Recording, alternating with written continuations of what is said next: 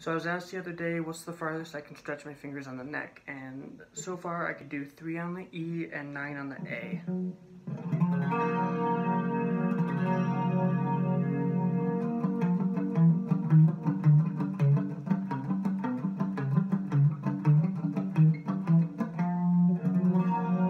I could even try maybe the A and D string, three and nine still.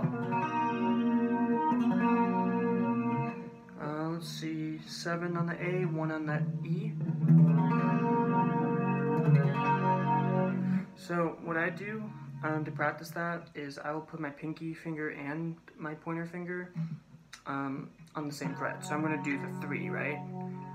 And I just keep my pinky moving and keep my pointer finger where it is. So.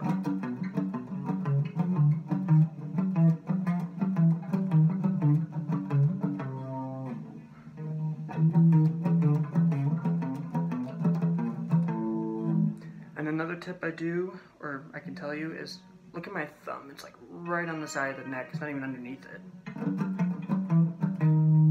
Because if you have it up here, it's going to mess with your fingers and you won't be able to stretch as far. Even though, see how where it is, kind of?